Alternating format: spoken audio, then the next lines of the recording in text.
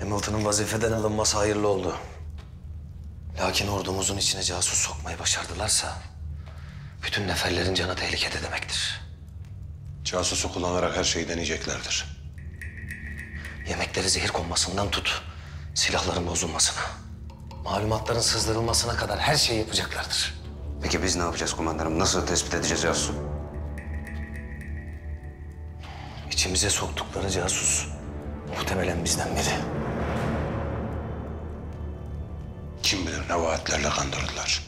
Evvela bu bilgiyi kışlaya ulaştırmalıyız. Albay Halil Bey oradan, biz buradan bu casusun kim olduğunu araştırıp bulacağız. Aksi takdirde ordumuzu büyük bir mağlubiyet bekler. Benim benim. Kumandanım. Hayır mı Yakup? Ne bu telaş? Ordumuz şehre hücum harekatı yaptı. Kaybımız büyük. Onlarca şehidimiz var. Ne dersin Yakup? Ne vakit? Bugün, bugün yaptılar kumandanım.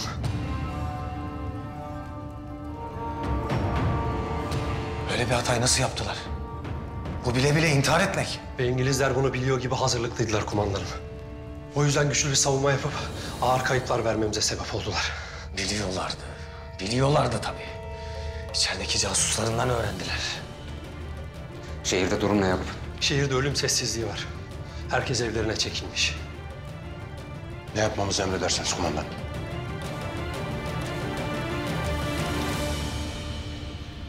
Karargahlarına güçlü bir şekilde saldıralım. Olurum Sait. Bu imkansız.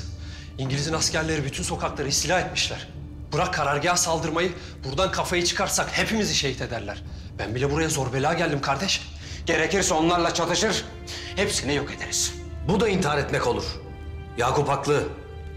Yaşananlardan sonra bizim ne yapacağımızı düşünüp gerekli önlemleri almışlardır. Ne emredersiniz kumandanım? Bekleyeceğiz. Bekleyeceğiz Mevlüt. Ortalık durulana kadar bekleyeceğiz.